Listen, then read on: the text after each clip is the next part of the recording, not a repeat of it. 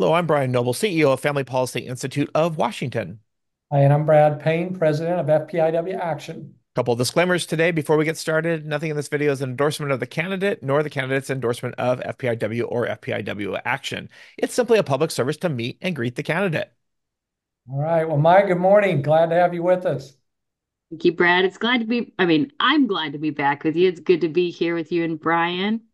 All right. Well, my my first question will sound similar. It's kind of a three-parter. If you would give us your name and the position you're running for, tell us a little bit about you and your family, and then tell us about your experience for this position.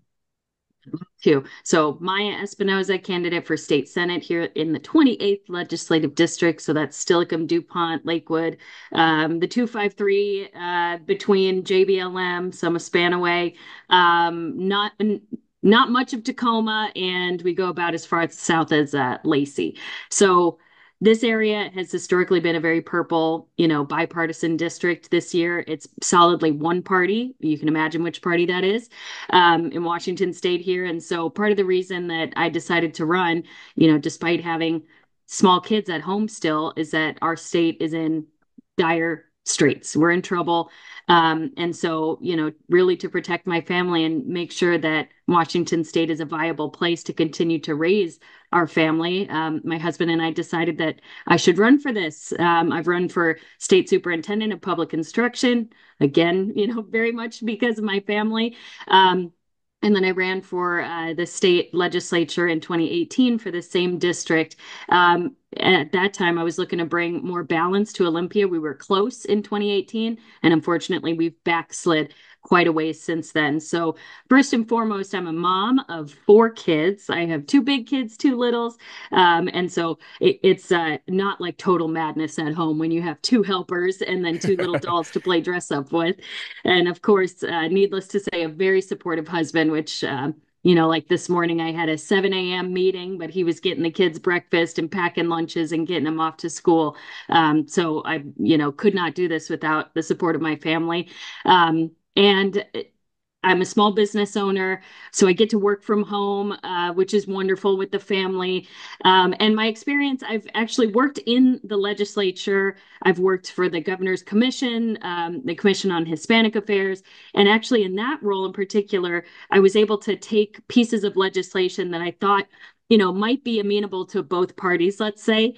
And I was able to kind of shop the ideas around and find out, you know, what motivates people what's you know something that would prevent something from getting through. And i found this real ability to bring people together on ideas that made sense if we could get through you know why they wouldn't work or wouldn't make sense. And that's really what i hope to bring to the legislature. Certainly if elected as a republican in this sort of makeup you know you're in the deep minority here but people do you know want ideas that work. And so i hope to help bring some of those ideas forward and bring them forward in a bipartisan constructive way because deep down you know i, I truly want to believe that everybody in office you know wants to serve as, as a public servant. And so if i can help facilitate some of that and make our state a better place to live that's what i'm here for.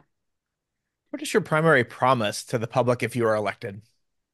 So my promise, and this was reinforced this past weekend in a uh, candidate forum that I did, is that I will stand my ground.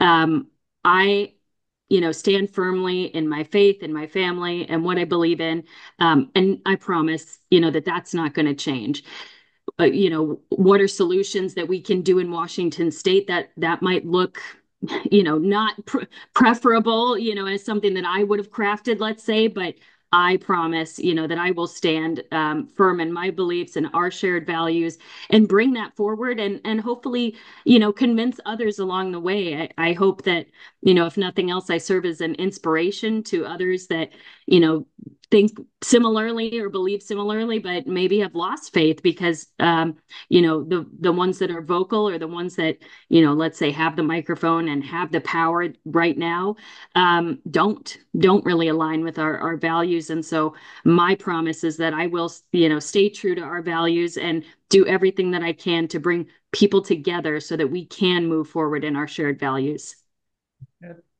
Maia, what do you feel like differentiates you the most from your opponent? So one of the things that I think is particularly relevant to this audience uh, with the Family Policy Institute um, is the belief that parents should have a say in their kids' education, in their kids' upbringing. Um, you know, this kind of harkens back to: Do your children belong to you, or do they belong to all of society or the state. And that i think is is a pretty scary thought you know to think that our kids are commodities or you know up for grabs. Our children are precious. There's no one you know that's more responsible for the child than the parent. And so what really sets me and my opponent apart is you know she for example um, voted to ban parents from curriculum decisions you know and she's a school board member.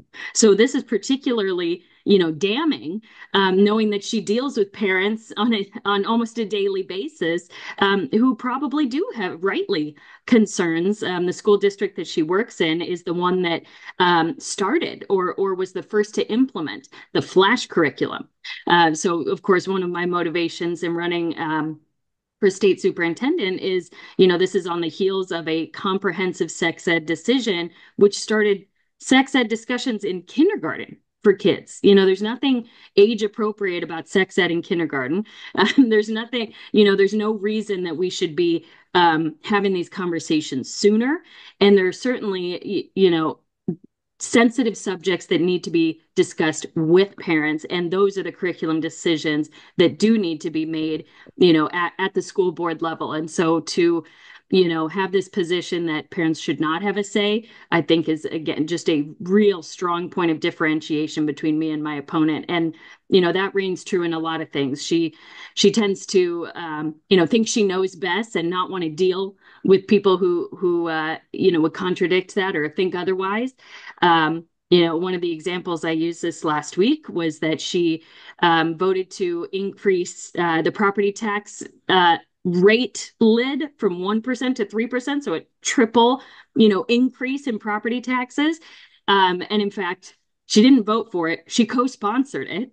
Um, you know, but uh, she said that she took her name off of it because she she listened, you know, to her constituents. Well, unfortunately, you know, it was her bad idea in the first place, and it could have very well passed. You know, this was something I don't think she took her name off you know, because uh, she listened. I think it was because there was a lot of backlash coming and she had a difficult election ahead. Our fourth and final question is What did you learn in the primary campaign that positively impacted you during this general election?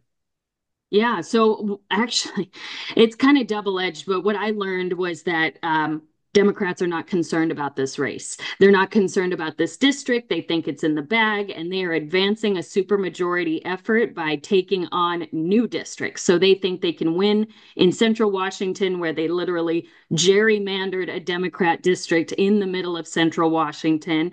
Um, they think that they can win in the Bainbridge Island area, where there's a um, uh, an incumbent Republican they are not spending money in this district, and that I think is positive.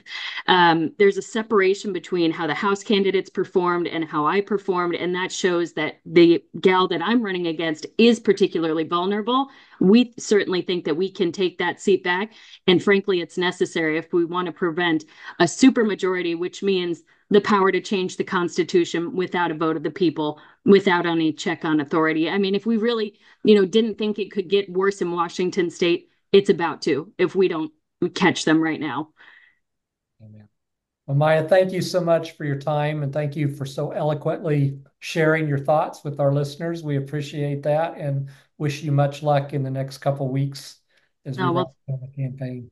Thank you so much for the opportunity. Thanks for doing these. It's so important that we get the word out. And so, you know, every little bit helps. This is the final weeks, and we're, you know, my campaign was set up to kind of run out of steam at the end rather than have money left over. So, right now, we're trying to throw everything in the tank while we've still got it. So, vote early. Please donate if you still can. And prayers absolutely needed and welcome. So, thank you to you, Brian and Brad. Amen. Well, I'm Brad Payne with FPIW Action. And I'm Brian Noble with FPIW. For the reminder, nothing in this video is considered an endorsement of the candidate, nor the candidate's endorsement of FPIW or FPIW action. Like we like to say around here, go out there and defend and advance biblical values in the public square. God bless.